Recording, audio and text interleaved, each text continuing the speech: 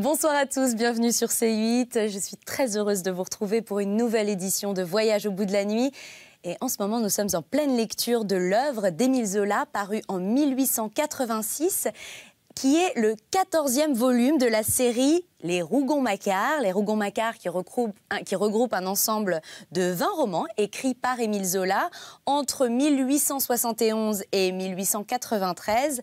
Alors, ce roman, cette série de romans Les Rougon-Macquart, porte aussi le sous-titre Histoire naturelle et sociale d'une famille sous le Second Empire, montrant ainsi l'intention de Zola que les Rougon-Macquart personnifieront l'époque et l'Empire lui-même. Alors, en fait, Zola, il s'est tout simplement inspiré de la comédie humaine de Balzac dans cet ouvrage, dans, dans cette série de romans. Notamment, il avait pour but d'étudier l'influence du milieu sur l'homme et l'état héréditaire d'une famille sur cinq générations. Alors, il veut aussi dépeindre la société du Second Empire de la façon la plus exacte possible, en n'oubliant aucune des composantes de cette société et en faisant une large place aux grandes transformations qui se produisent, qui se produiraient, qui se produisent cette époque, je vais y arriver, euh, l'urbanisme parisien, les grands magasins, le développement du chemin de fer, l'apparition du syndicalisme moderne. Bref, cet ensemble de romans marque le, le triomphe du mouvement littéraire appelé naturalisme, dont Zola avec Edmond, Jules de Goncourt et puis après Guy de Maupassant est le principal représentant. Voilà, vous savez tout sur l'œuvre d'Émile Zola que nous sommes en train de lire. Euh, j'ai repris la lecture que Florie avait entamée pour vous avec grand plaisir. Si vous souhaitez réagir sur les réseaux sociaux, n'hésitez pas. Vous pouvez utiliser le hashtag VBN. Alors, est-ce que vous êtes bien installé dans votre canapé, prêt à vous délecter de cette lecture, l'œuvre d'Emisola C'est parti On y va.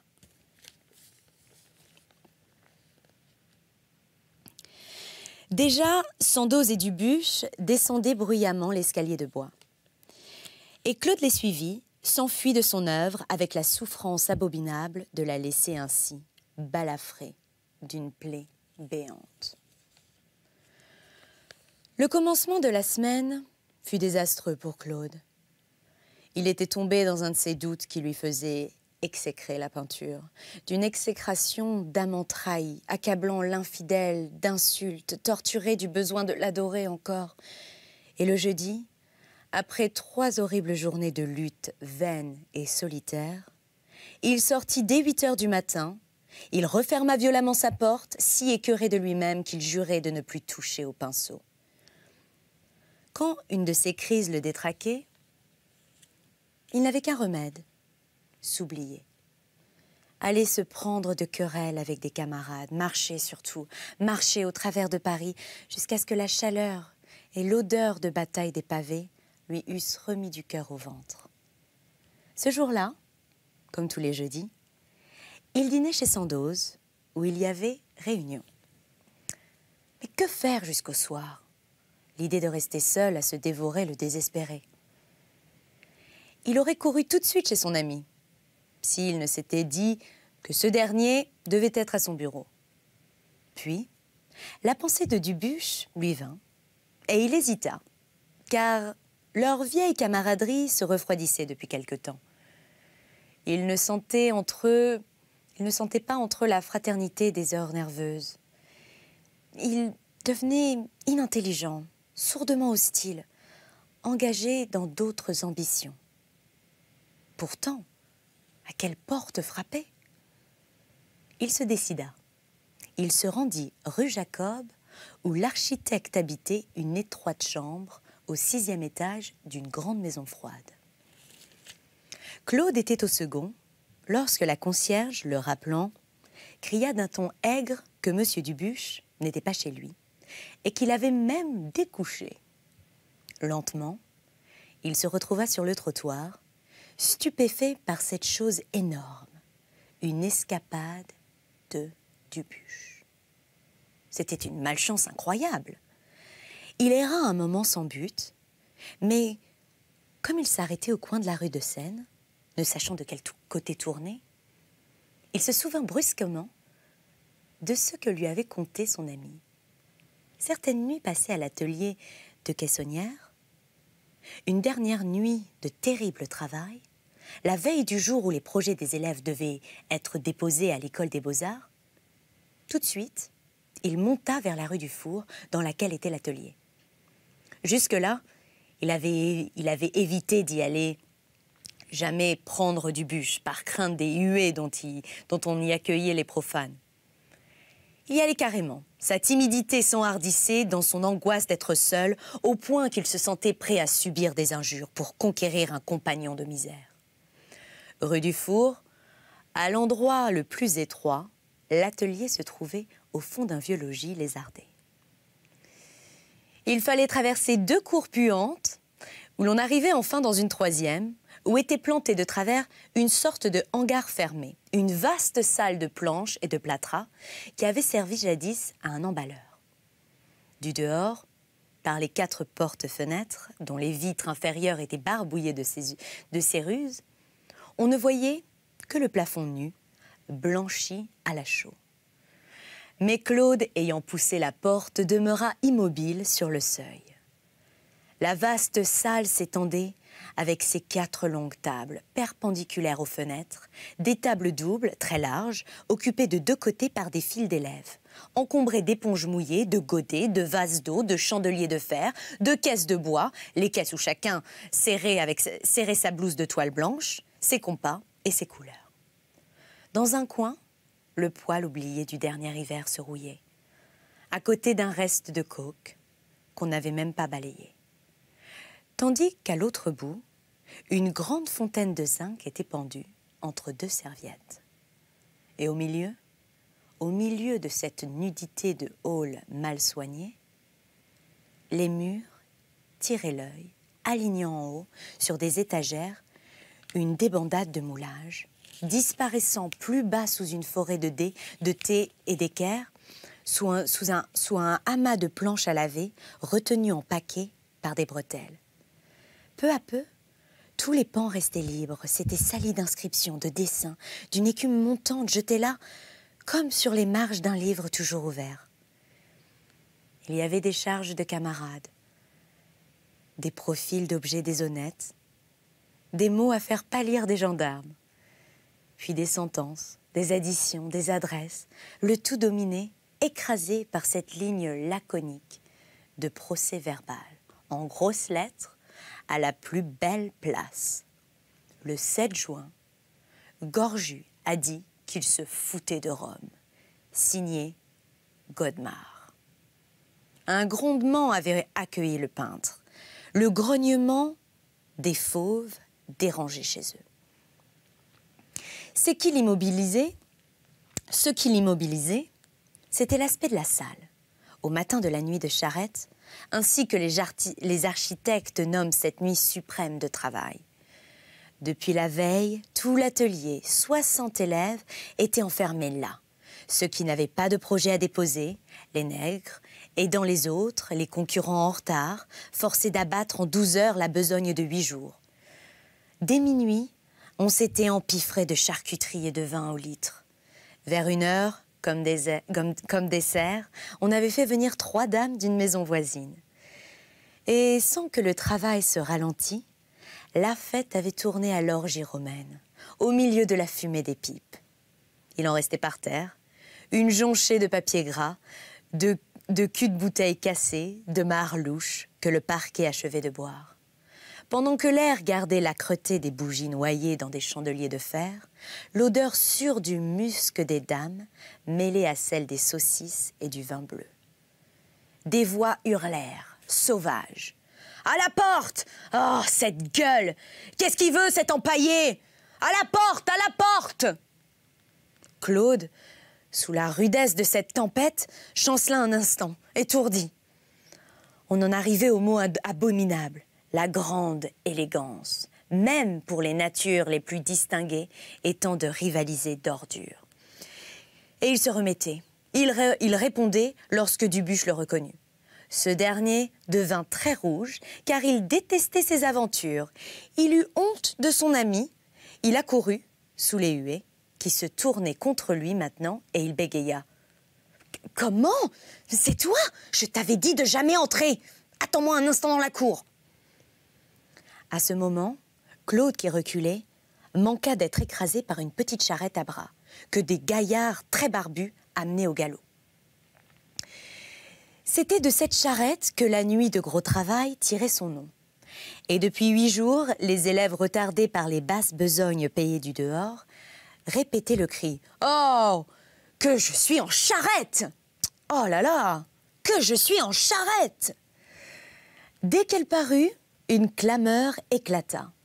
Il était 9 h moins quart, on avait le temps bien juste d'arriver à l'école. Une débandade énorme vida la salle, chacun sortait ses châssis au milieu des coudoiements. Ceux qui voulaient s'entêter à finir un détail étaient bousculés, emportés. En moins de cinq minutes, les châssis de tous se trouvèrent empilés dans la voiture et les deux gaillards barbus, les derniers nouveaux de l'atelier, s'attelèrent comme des bêtes, tirèrent au pas de course, tandis que le flot des autres vociférait et poussait par derrière. Ce fut une rupture d'écluse. Les deux cours franchis dans un fracas de torrent, la rue envahie, inondée de cette cohue hurlante.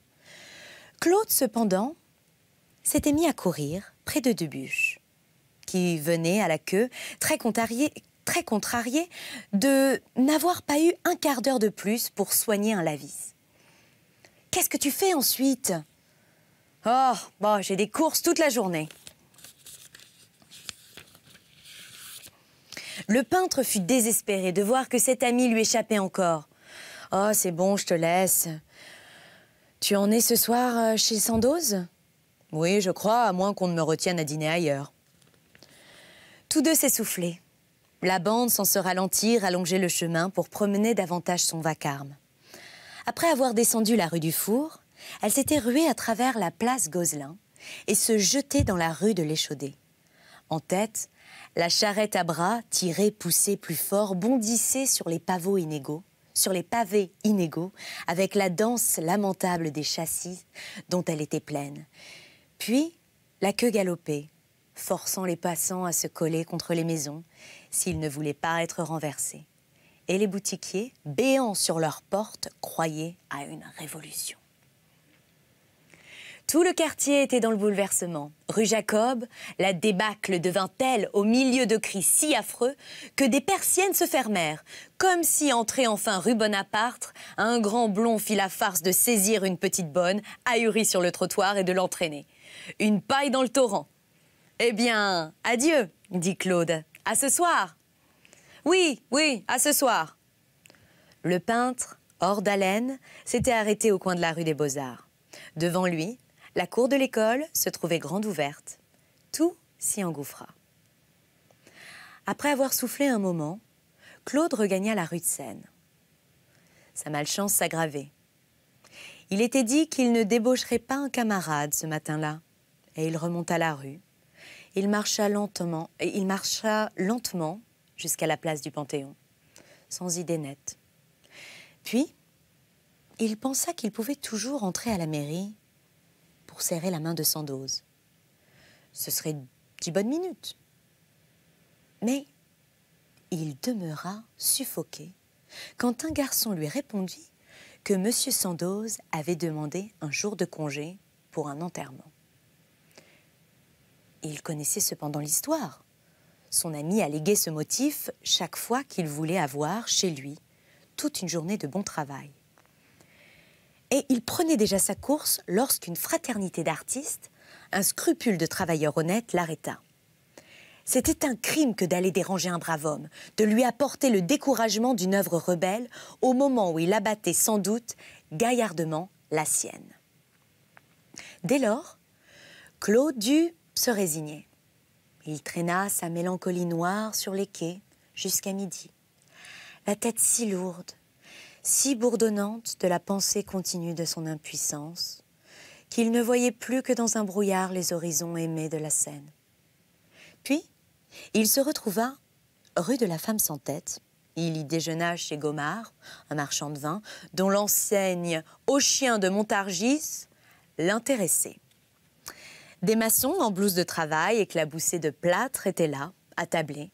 Et comme eux, avec eux, il mangea son ordinaire de huit sous. Le bouillon dans un bol, où il trempe une soupe, et la tranche de bouillie, garnie de haricots, sur une assiette humide, des eaux de vaisselle. C'était encore trop bon, pour une brute qui ne savait pas son métier. Quand il avait manqué une étude, il se ravalait. Il se mettait plus bas que les manœuvres, dont les gros bras au moins faisaient leur besogne. Pendant une heure, il s'attarda, il s'abêtit dans les conversations des tables voisines. Et dehors, il reprit sa marche lente au hasard. Mais, place de l'hôtel de ville, une idée lui fit hâter le pas. Pourquoi n'avait-il point songé à Fagerolles Il était gentil, Fagerolles bien qu'il fût élève de l'école des beaux-arts, est gai et pas bête. On peut causer avec lui, même lorsqu'il défendait la mauvaise peinture. S'il avait déjeuné chez son père, rue Vieille du Temple, pour sûr, il s'y trouverait encore.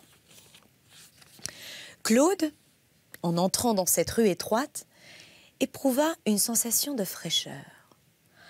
La journée devenait très chaude et une humidité montait du pavé qui, malgré le ciel pur, restait mouillé et gras sous le continuel piétinement des passants.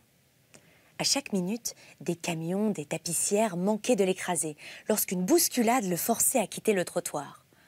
Pourtant, la rue l'amusait avec la débandade mal alignée de ses maisons, des façades plates, bariolées d'enseignes jusqu'aux gouttières, trouées de minces fenêtres où l'on entendait bruire tous les métiers en chambre de Paris, à un des passages les plus étranglés, une petite boutique de journaux le retint. C'était entre un coiffeur et un trépied, un étalage de gravures imbéciles, des suavités de romances mêlées à des ordures de corps de garde. Planté devant les images, un grand garçon pâle rêvait. Deux gamines se poussaient en ricanant. Il les aurait giflées tous les trois. Il se hâta de traverser la rue, car la maison de Fagerolles se trouvait juste en face. Une vieille demeure, sombre, qui avançait sur les autres, mouchetée des éclaboussures boueuses du ruisseau. Et comme un omnibus arrivait, il n'eut que le temps de sauter sur le trottoir, réduit, réduit là à une simple bordure.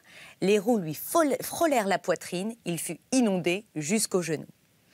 Monsieur Fagerolles, le père, fabricant de zinc d'art, avait ses ateliers au rez-de-chaussée. Et au premier étage, pour euh, abandonner à ses magasins d'échantillons les deux grandes pièces éclairées sur la rue, il occupait, sur la cour, un petit logement obscur qu'un étouffement de cave.